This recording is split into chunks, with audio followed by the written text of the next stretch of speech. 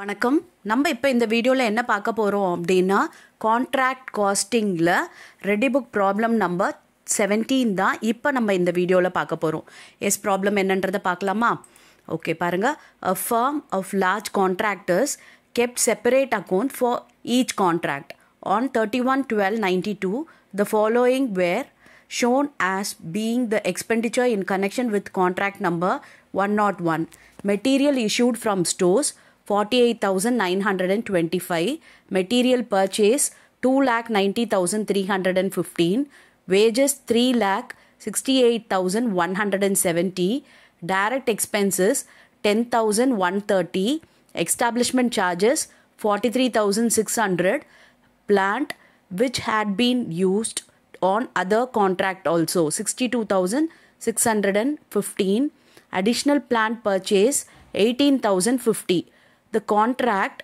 which had commenced on 1 7 1992 was for rupees 15 lakh and the amount certified by the architect after deduction of 20% retention money was rupees 6 lakh 4000 the work being certified till 31 12 1992 the materials on site on the date were valued at 49,290.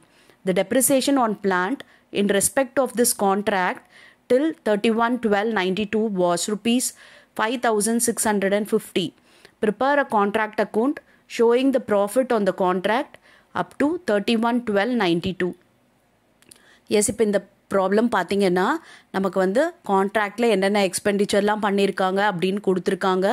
And இப்போ வந்து நமக்கு contract வந்து எப்போ start ஆகிருக்கு அப்படின்னு பார்த்தீங்கன்னா one seven ninety டூவில் தான் கமெண்ட்ஸ் ஆகிருக்கு ஆனால் நம்மளை வந்து thirty one twelve ninety two வரைக்கும் கான்ட்ராக்ட் அக்கௌண்ட் வந்து ப்ரிப்பேர் பண்ண சொல்லியிருக்காங்க அதில் வந்து ப்ராஃபிட் என்னன்றதை அசிடைன் பண்ணணும்.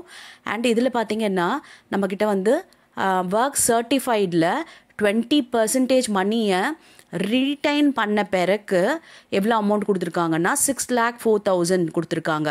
அதாவது இது என்ன அப்படின்னு பார்த்தீங்கன்னா cash received okay cash received after இந்த ரிட்டென்ஷன் ஆஃப் டுவெண்ட்டி பர்சன்ட் அப்போ இது எயிட்டி பர்சன்டேஜ் மணி வந்து இந்த சிக்ஸ் லேக் ஃபோர் தௌசண்ட்ன்றது ஓகே அப்போ நம்ம ஒர்க் சர்டிஃபைடுன்னும் போது ஹண்ட்ரட் பர்சன்டேஜ் ஆஃப் திஸ் கண்டுபிடிக்கணும். புரியுதா? இது வந்து ஃபிஃப்டீன் லேக்ன்றது கான்ட்ராக்ட் ப்ரைஸ் எஸ் இப்போ இந்த ப்ராப்ளம் போடலாமா? ரொம்ப ஈஸியான ப்ராப்ளம் தான். அண்ட் அது மட்டும் இல்லாமல் பாருங்கள் இந்த பிளான்ட் வந்து நம்ம அதர் கான்ட்ராக்ட்லேயும் யூஸ் பண்ணியிருக்காங்களாம் ஓகே அதர் கான்ட்ராக்ட்லேயும் யூஸ் பண்ண பிளான்ட்டோட வேல்யூ மொத்தம் என்ன?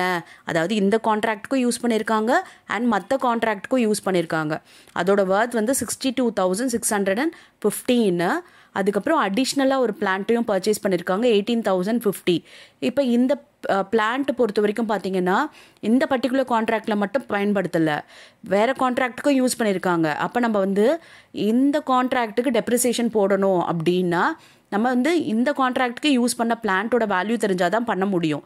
அதனால் அவங்களே வந்து டெப்ரிசியேஷன் கொடுத்துட்டாங்க பாருங்கள் இங்கே பாருங்கள் the depreciation on plant in respect of this contract okay அந்த பிளான்ட் வந்து இந்த கான்ட்ராக்டுக்கு மட்டும் பயன்படுத்தினதோட டெப்ரிசியேஷன் வந்து இந்த five thousand six hundred and fifteen கொடுத்துட்டாங்க யூஸ்வலாக நம்ம என்ன பண்ணுவோம்? பிளான்ட்டோட ஓப்பனிங் பேலன்ஸை டெபிட்டில் போட்டுட்டு அண்ட் க்ளோசிங்கில் பார்த்தீங்கன்னா பிளான்ட் மைனஸ் டெப்ரிசியேஷன் போடுவோம் இல்லையா? இப்போ இந்த ப்ராப்ளம் பொறுத்த வரைக்கும் நம்ம என்ன பண்ணலாம்னா டெப்ரிசியேஷன் டைரெக்டாகவே கொடுத்துட்டதுனால நம்ம டெபிட்டில் அப்படியே போட்டுக்கலாம் ஓகே ஏன்னா மற்ற கான்ட்ராக்ட்டுக்கும் யூஸ் பண்ண பிளான்ட்டோட வேல்யூ இதில் இன்க்ளூட் ஆகிருக்கு எஸ் இப்போ நம்ம போடலாம். First material issued from stores வந்து நம்ம டெபிட் பண்ணிக்கலாம்.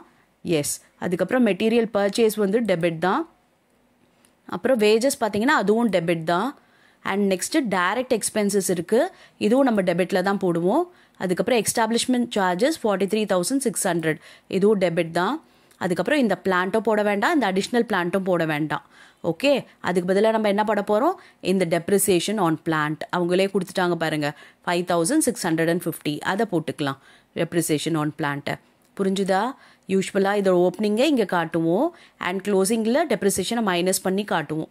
இப்போ மற்ற கான்ட்ராக்ட்லேயும் யூஸ் பண்ணதுனால பாருங்கள் plant which had been used on other contract also அப்படின்றதுனால நம்ம பிளான்ட்டையே காமிக்கல.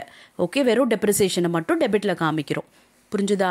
ஏன்னா இந்த கான்ட்ராக்ட் அப்படின்னா கான்ட்ராக்ட் ஒன் நாட் ஒன் அப்படின்றது அந்த கான்ட்ராக்ட்க்கு ரிலேட்டான எக்ஸ்பெண்டிச்சரை மட்டும்தான் நம்ம போடணும். ஓகே எஸ் இப்போ கிரெடிட்டில் என்னென்ன இன்ஃபர்மேஷன் வரும் அப்படின்னு பார்த்தீங்கன்னா மெட்டீரியல் அட் த சைட் இருக்குது பாருங்கள் பாருங்கள் material on on site okay value develop அப்படின்னா forty nine thousand two ninety அதை போட்டுக்கலாம். அண்ட் நெக்ஸ்ட்டு வேறு எதுவும் கிரெடிட்டில் வர வேண்டிய இன்ஃபர்மேஷன் இல்லை. எல்லாமே டெபிட்டில் போட்டுட்டோம். இப்போ பார்த்தீங்கன்னா ஒர்க் சர்டிஃபைடு இருக்குது இல்லையா? ஒர்க் சர்டிஃபைடு பார்த்தீங்கன்னா நமக்கு வந்து டுவெண்ட்டி பர்சன்ட் ரீட்டைன் பண்ண பிறகு cash received six lakh four thousand அப்போ நமக்கு தேவை என்ன அப்படின்னு பார்த்தீங்கன்னா ஹண்ட்ரட் பர்சன்டேஜ் இது வேணும். ஹண்ட்ரட் பர்சன்டேஜ் எப்படி கண்டுபிடிப்போம்? Six lakh four thousand into hundred divided by eighty okay போட்டோன்னா seven lakh fifty five thousand வருது.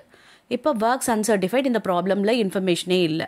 ஸோ அதுக்கு நம்ம டேஷ் போட்டுடலாம். ஓகே அதாவது புரியுதா? இந்த ரிட்டன்ஷன் மணின்றது என்ன அப்படின்னு பார்த்தீங்கன்னா ஆக்சுவலாக ஒர்க் சர்டிஃபைட் பண்ணது ஹண்ட்ரட் பர்சன்ட் ஓகே அதில் நம்ம என்ன பண்ணுறோம் டுவெண்ட்டி பர்சன்டேஜ் ரீட்டைன் பண்ணிவிட்டு பேலன்ஸ் அமௌண்ட் தான் கேஷ் ரிசீவ்டு புரிஞ்சுச்சா? அதனால தான் கேஷ் ரிசீவ்டு நம்ம எயிட்டி பர்சன்டேஜ் அப்படின்னு சொல்கிறோம் ஆஃப் ஒர்க் சர்டிஃபைடு இங்கே. ஓகே ஏன்னா டுவெண்ட்டி பர்சன்டேஜ் ரிட்டன்ஷன் அப்படின்னு சொன்னதுனால. அப்போ ஒர்க் சர்டிஃபைடில் கேஷ் ரிசீவ்டு ஒரு பார்ட் இருக்கும் அண்ட் அந்த ரிட்டன்ஷன் மணி ஒரு பார்ட் இருக்கும். இது ரெண்டும் சேர்ந்தாதான் தான் ஒர்க் சர்டிஃபைடோட டோட்டல் அமௌண்ட் வரும் ஓகேவா எஸ் இப்போ வந்து நம்ம இந்த பேலன்ஸ் பண்ணுவோமா? நமக்கு நோஷனல் ப்ராஃபிட் என்னன்னு கண்டுபிடிக்கலாம். Eight lakh four thousand two ninety வருது கிரெடிட் சைடு அண்ட் டெபிட்டில் இருக்கிறது எல்லாத்தையும் மைனஸ் பண்ணோம் அப்படின்னா வர்றது நோஷனல் ப்ராஃபிட் எவ்வளோ பாருங்கள் thirty seven thousand five hundred வருது. ஓகே இப்போ இந்த நோஷனல் ப்ராஃபிட்டை நம்ம என்ன பண்ண போகிறோம் ப்ராஃபிட் அண்ட் லாஸ்க்கும் ரிசர்வ்க்கும் நம்ம வந்து டிவைட் பண்ண போகிறோம் அது எந்த ப்ரொப்போர்ஷனில் அப்படின்னு பார்த்தீங்கன்னா முதல்ல நம்ம work certified on contract price எவ்வளோ பர்சன்டேஜ் வருதுன்றதை பார்க்கணும். ஓகே ஒர்க் சர்டிஃபைட் எவ்வளவு?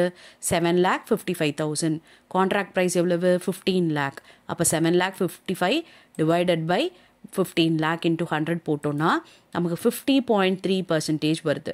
இப்போ நம்ம ஃபிஃப்டியை விட ஜாஸ்தி ஆயிடுச்சு ஃபிஃப்டி அண்ட் அபோவ் அப்படி இருந்தாவே two third of the profit is transfer to profit and loss அப்போ டூ தேர்ட் அப்படின்னும் போது thirty seven thousand five hundred into two by three into cash receive divided by work certified cash received எவ்வளவு இங்கே? Six lakh four thousand work certified எவ்வளவு? Seven lakh fifty five thousand okay இப்போ இந்த calculation போட்டோன்னா எவ்வளோ வருது பாருங்கள் twenty thousand தான் ப்ராஃபிட் அண்ட் லாஸில் போட போகிறோம் புரிஞ்சுச்சா? அப்போ தேர்ட்டி செவன் தௌசண்ட் ஃபைவ் ஹண்ட்ரடில் நம்ம வந்து டுவெண்ட்டி தௌசண்ட் வந்து ப்ராஃபிட் அண்ட் லாஸில் போட்டுட்டோம் அப்படின்னா பேலன்ஸ் அமௌண்ட் எவ்வளவு? செவன்டீன் தௌசண்ட் ஃபைவ் ஹண்ட்ரட் ரிசர்வ்க்கு புரிஞ்சுதா? ஓகே ஈஸியாக இருக்கா இந்த ப்ராப்ளம் எஸ் இப்போ உங்களுக்கு நான் ப்ராக்டிஸ்க்காக இதே மாடல்லே ஒரு ப்ராப்ளம் கொடுத்துருக்கேன். இந்த ப்ராப்ளமை ஒர்க் அவுட் பண்ணுங்கள் அண்ட் கமெண்ட்டில் ஆன்சர் பண்ணுங்கள் I check you answer and வேறு ஏதாவது ப்ராப்ளமோ டாப்பிக்கோ டவுட் இருந்ததுனாலும் கமெண்ட் பண்ணுங்கள் வீடியோஸ் அதுக்காக நான் பண்ணுறேன் yes Thank you for your patient listening.